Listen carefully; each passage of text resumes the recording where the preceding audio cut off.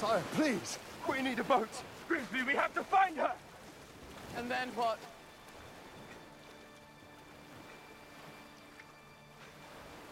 And then what, Eric? Darling. You were right. I was chasing after a fantasy girl. No, no, I was wrong. She was very real. And so were your feelings for her. I see that now. It's just that our worlds were never meant to be together.